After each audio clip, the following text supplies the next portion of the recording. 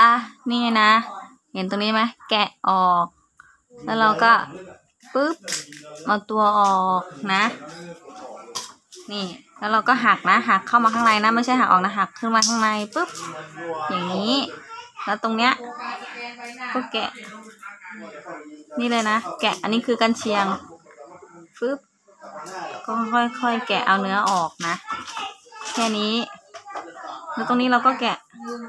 อ,อันนี้ออกไปแล้วก็แงะแงะออกจ้า แล้วก็นนี้ก็มันมันก็กินได้ แล้วก็ส่วนอันนี้มันนะ ก้ามมันนะ เราก็หักปึ๊บ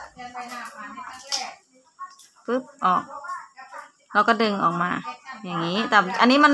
ไม่สดแล้วไง ก็ดึงออกได้ อะ ตัวเองลองแกะดูนะ